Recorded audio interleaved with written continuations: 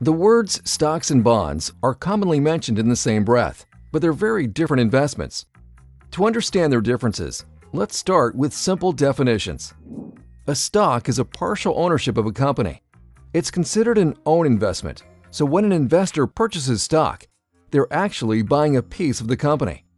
A bond is a loan investment, which means an investor is actually loaning money to an entity, like a company, government, or municipality.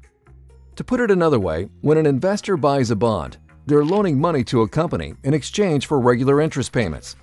When they buy a stock, they're buying a small piece of a company. Both assets can be bought and sold on the respective markets, and the prices can fluctuate, sometimes wildly. This can happen for a variety of reasons, like a particularly good earnings report or a new product release that turned out to be a flop. Because bonds are a loan, they can be a little more complex than stocks. Whenever a loan is made, certain terms have to be established. The same is true with bonds. When a company raises money through a bond, it's called a new issue. In a new issue, millions of dollars of bonds are commonly available. The issuer determines the value of the bond, also known as the par value. Because bonds can be traded throughout their lifetime, they may trade at a premium or a discount in relation to this par value. Like the name suggests, premium bonds are bonds trading at a higher value than their par value, and discount bonds are trading below their par value.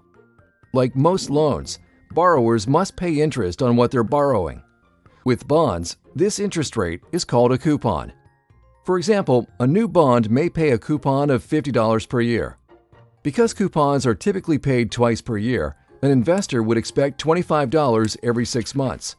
So, a bond that has a coupon of $50 and a face value of $1,000 has a coupon rate of 5%. This is the interest on the loan. The loan agreement ends when the bond reaches maturity. Maturity is the length of time on the loan and is also the point at which your invested principal is returned to you. Bond maturities typically range anywhere from 1 to 30 years.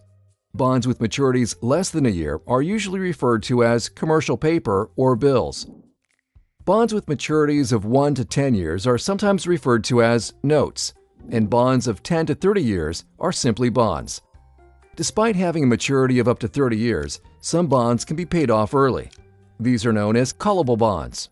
When this happens, the bond issuer returns the invested principal early. The investor would keep any interest paid to that point, but the early repayment would end any future coupon payments. So let's review. When an investor purchases a bond, they're actually loaning money to an entity like a company. In return for the loan, the company will pay the investor interest, usually on a semi-annual basis. The interest provides regular and consistent income for the investor until maturity, which may be anywhere from 1 to 30 years, depending on the bond purchased. Both stocks and bonds have risks associated with them, like price declines, which can result in losses, and inflation, which can eat into your returns. Bonds also face some unique risks, like credit risk. This is the risk that an issuer defaults on coupon payments or fails to repay the principal at maturity. This could cause the price of the bond to plummet and significantly reduce your returns, potentially all the way to zero. Bond ratings can help investors determine the likelihood of this happening, but ratings can change. Another risk of investing in bonds is interest rate risk. If interest rates rise, the value of your bonds will decrease. This typically only matters to traders who want to sell bonds, though. If you plan to hold your bonds until maturity, this won't impact the principal you receive when your bond matures. At maturity, the investor receives their initial investment or principal back. Keep in mind, not all bonds are the same.